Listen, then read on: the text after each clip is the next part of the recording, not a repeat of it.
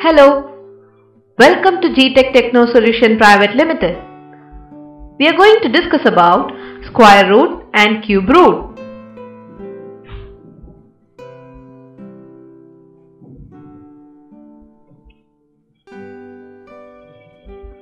If we have the equation x square is equal to y, we say that the square root of y is nothing but x. That is, the square root of y will be equal to x. Let us see an example. Square root of 4 is nothing but 2 because 2 into 2 will give you the value to be 4.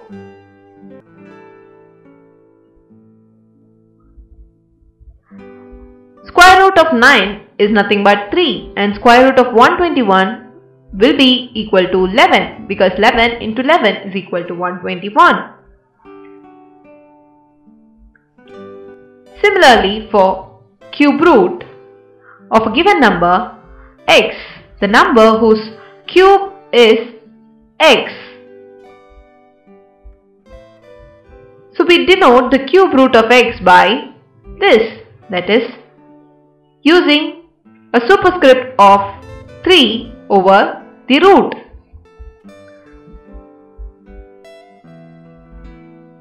Cube root of 27 is 3 because it is nothing but 3 into 3 into 3 that is 3 times you have to multiply 3 in order to get 27. The condition for cube root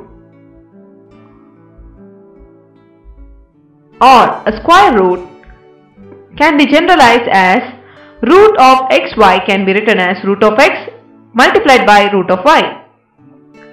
Root of x by y can be written as root of x by root of y and which is equal to root of x by root of y multiplied by root of y and y cancelling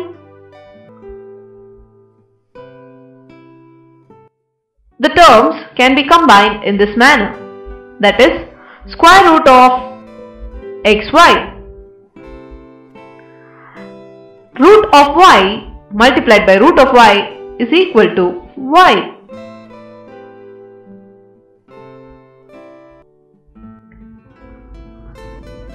The cube root of point zero zero two one six will be how much? We have to find it. Our options are given as follows. Let us see the answer. The cube root of the number is nothing but written as cube root of 216 by 10 power 6 since the decimal point is before 6 decimal places. So 10 power 6 which is equal to cube root of 216 can be written as 6 into 6 into 6 by 10 square into 10 square into 10 square. Since we have 3 repeated numbers in cube root, we can write as 6 and 10 square is 10 square because they are 3 in number. So the cube root of 6 into 6 into 6 is nothing but 6. 6 by 10 square is nothing but 0.06. Hence, our answer is nothing but option D 0.06.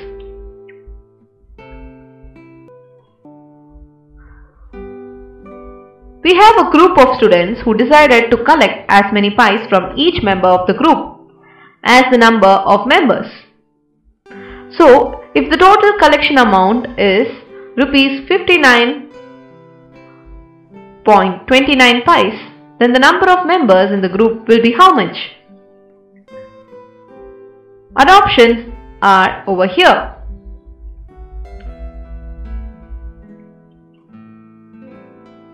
Let us see how to solve this. It is given that the money collected will be equal to the number of members in pies. So the money collected was rupees 59 and 29 pice. Each rupee is 100 pice. So multiplied by 100 you get your rupees in terms of price. So that is 5929 pice. So the number of members can be obtained by square root of 5929 which is equal to 77. So your answer is nothing but option C 77.